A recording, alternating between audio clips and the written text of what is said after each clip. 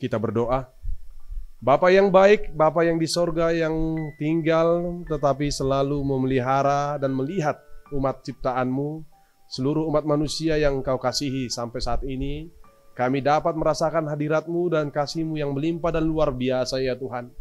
Hingga kami dapat tiba di hari yang baru ini, ini semua adalah segala perbuatanmu yang selalu bekerja dalam hidup kami, dan Tuhan Allah Bapa yang di sorga, kami akan mengawali hari dan aktivitas kami dengan ibadah kami ini. Biarlah Tuhan firman-Mu menyapa kami, mengenyangkan rohani kami, dan menguatkan iman kami, agar kami dapat melakukan segala aktivitas kami dengan rasa syukur dan penuh sukacita, karena Engkau yang menuntun dan membimbing kami lewat terang firman-Mu. Hanya di dalam nama Yesus Kristus kami berdoa. Amin. Shalom, Bapak Ibu Saudara yang terkasih. Salam sejahtera untuk ibadah kita pada hari ini. Firman Tuhan yang akan menyapa kita diambil dari kitab Yeremia pasal yang pertama ayat yang ke-19. Beginilah firman Tuhan. Mereka akan memerangi engkau, tetapi tidak akan mengalahkan engkau. Sebab aku menyertai engkau untuk melepaskan engkau. Demikian firman Tuhan. Bapak, ibu, saudara yang terkasih, di dalam nama Tuhan kita Yesus Kristus, ketika Yeremia dipanggil dan dipilih Tuhan menjadi nabi yang menjadi perpanjangan lidah Tuhan untuk menyuarakan keadilan dan kebenaran, ia memiliki rasa ketakutan yang luar biasa, yaitu dalam bayangannya bahwa akan banyak orang yang akan memusuhinya dan akan banyak orang yang akan menghancurkan hidupnya. Yeremia sadar bahwa menyuarakan suara kenabian akan mendatangkan hambatan dan rintangan dari hantaman-hantaman orang-orang yang membenci keadilan dan kebenaran. Ia juga sadar betul akan banyak orang yang marah dan membencinya.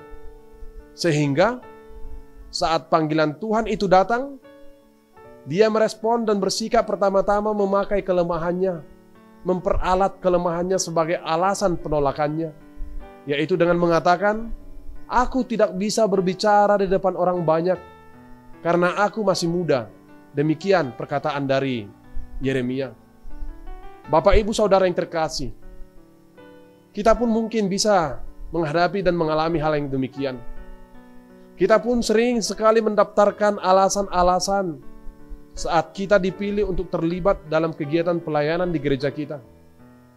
Misalnya, saat seseorang dipilih menjadi seorang pelayan dalam kategorial, dalam kepanitiaan, atau menjadi pelayan dalam majelis di gereja, atau lain sebagainya. Maka biasanya alasan kelemahan dan ketidaklayakan akan menjadi hal yang utama untuk menolak panggilan itu. Rasa takut akan banyak hal memang sering menjadi penghambat untuk dipakai oleh Tuhan. Sebenarnya, rasa takut bisa menjadi motivasi yang terbesar, tetapi juga bisa menjadi penghalang dalam bertumbuh. Saat Yeremia menolak panggilan dan pemilihan Tuhan atas dirinya, Tuhan tahu bahwa rasa takutlah yang menghantuinya. Karena itu Tuhan berkata, Jangan takut pada mereka semua. Mereka akan memerangi engkau, tapi tidak akan mengalahkan engkau, sebab aku menyertai dan melepaskan engkau. Tuhan yang memanggil, Tuhan yang menyertai, dan Tuhan yang melepaskan Yeremia adalah Tuhan yang sama yang memanggil kita, yang menyertai dan melepaskan kita. Oleh karena itu, Bapak, Ibu, Saudara yang terkasih, Marilah teguhkan imanmu akan panggilan Tuhan. Marilah berkomitmen untuk tulus dan ikhlas dan rela melakukan yang terbaik dan terbanyak bagi Tuhan. Jangan pernah takut karena Tuhan ada bersama dengan kita dan tetaplah setia dalam pelayanan kepada Tuhan. Tuhan akan menyertai dan Tuhan akan memperlengkapi dan Tuhan akan memberikan yang terbaik dalam segala berkat-berkatnya yang melimpah dalam segala perkara hidup kita. Amin.